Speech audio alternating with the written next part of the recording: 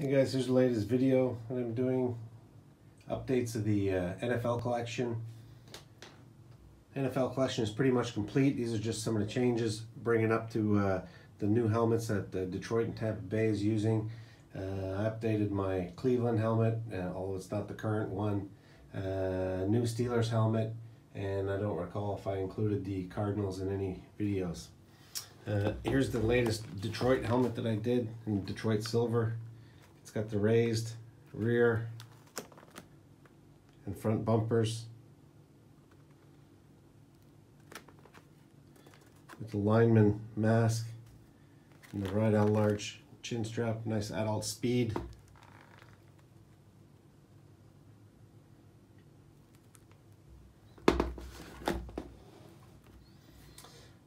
Latest Tampa Bay, trying to get the light on it to show you the correct color.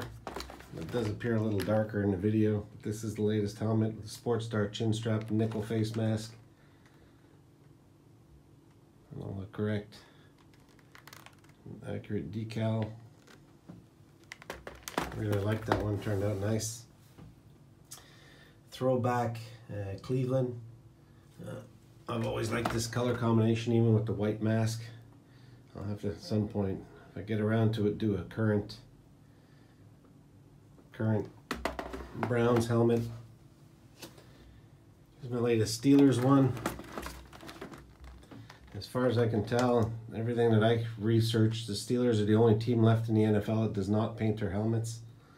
So this is a molded black, just like the Steelers use. They use a very high, high gloss um, wax to give it a shiny appearance, but it is in fact not painted. And here's my uh, Cardinals Matthews helmet was since been traded. Some more work for me to do.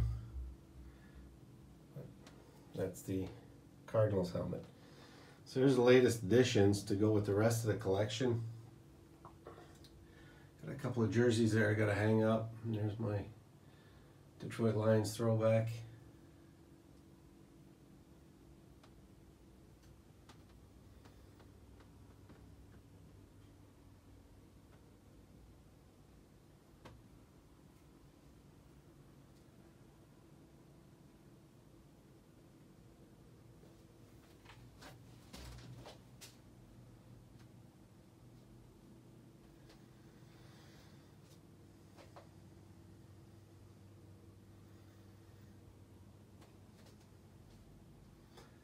Jags got a new helmet this year. Have to redo that, and so do the Titans.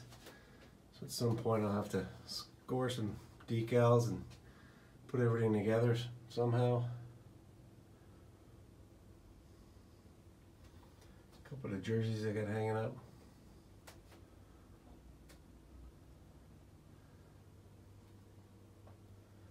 A few of the extras.